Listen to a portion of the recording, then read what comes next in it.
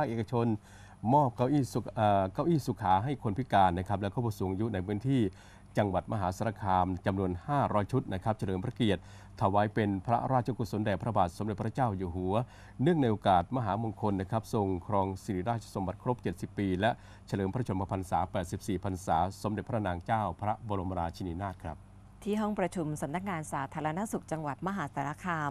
นายเสถียรพงษ์มากสิริ รองผู้ว่าราชการจังหวัดมหาสารคามเป็นประธาน ในการรับมอบเก้าอี้สุขาสำหรับคนพิการผู้สูงอายุ และผู้ที่มีปัญหาสุขภาพด้านการขับถ่าย จากนายสมาน คุณากรภัยบูลสิริ และนางเพน เพียงเพนคุณากรภัยบูลย์สิรินะคะซึ่งมีจิตศรัทธาบริจาคเก้าอี้สุขาจำนวน 500 ชุดมอบให้กับคนพิการผู้สูงอายุ และผู้ที่มีปัญหาสุขภาพด้านการขับถ่าย ในจังหวัดมหาสารคามทั้ง 13 อำเภอค่ะครับก็เพื่อถวายเป็นพระราชกุศลแด่พระบาทสมเด็จพระเจ้าอยู่หัวนะครับเนื่องในโอกาสทรงครองสิริราชสมบัติครบ 70 ปีนะครับและสมเด็จพระนางเจ้า